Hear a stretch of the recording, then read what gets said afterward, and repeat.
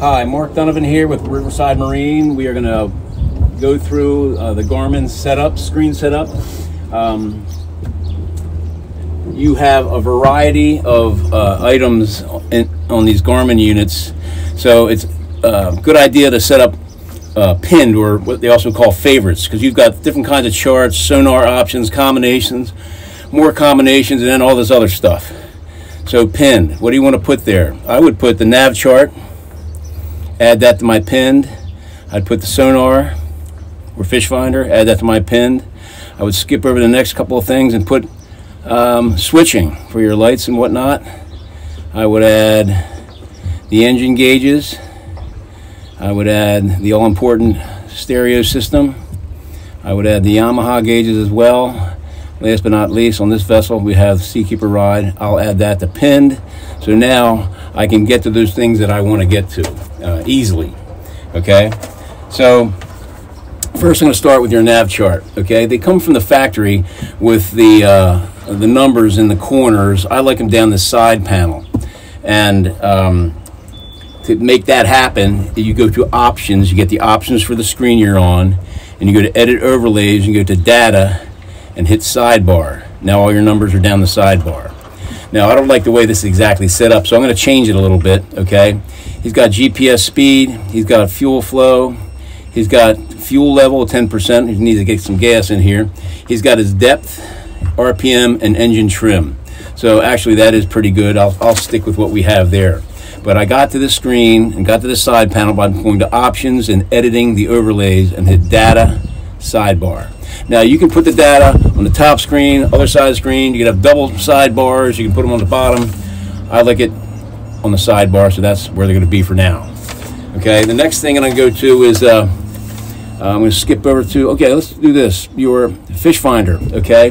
Right now it is turned off because we are up in the air on a lift, and this fish finder will. Uh, in a couple hours will burn out the transducer if it's not down in the water and being kept cold by the water. So the way to turn this off, if you're on a trailer or on a lift and you're working with other components, you go to options for this screen and you hit transmit off. That's on, that's off. Now we're not worried about the, the sonar um, being damaged by being out of the water and running at the same time. So I'm going to go to my uh, engine gauges first. I'm going to go to the Yamaha screen. Okay, very nice screen. Got a lot of lot going on here. Um, when your motor's running and you get these blue blocks in, in, a row right about the middle of the screen, that means everything is good. Pressures, temperatures, batteries, all that's good. You have your what gear you're in or not, RPMs, engine trim, how many hours on the engine, your your trip meter, how much fuel you use in that trip. All that stuff is right there in front of you. Great screen. A lot of people like it. I am more partial to the engine screen. Okay, even though this is all digitally driven, it looks analog to me.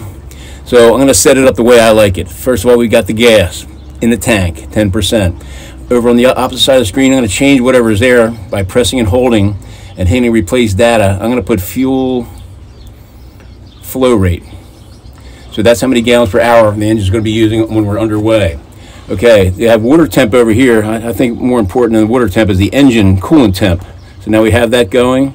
Press and hold, replace that. I'm going to put the engine oil pressure. And I'm going to change this one to engine trim. So now I got engine gauges there. Speed, that's good. RPMs, that's also good. Water temp up here. I'm going to change that. I'm going to monitor my engine hours for uh, service reasons, okay? So this engine has 15.6 hours. Another five hours, I have to take it in for its 20-hour service. Over on this side, it's showing you total fuel economy, which is nice to know. Maybe it's not nice to know at $5 a gallon, but I'm going to change that value to something else. Um, I'm going to press and hold, replace data. I'm going to put water depth. Okay, since the depth finder is off, we're not seeing anything. You would have the depth way down here in tiny little letters, but I like it big, so I stick it up there. Now, that's the screen I like. If, uh, you have many, many options. If you go to edit the gauge pages and change the layout, you can do bar graphs, you can do circles, lines, all kinds of stuff. But if I touch one of these, I'm going to lose everything I had on that other screen. So I'm going to go back, back, close it. That's the screen I'm going to stick with.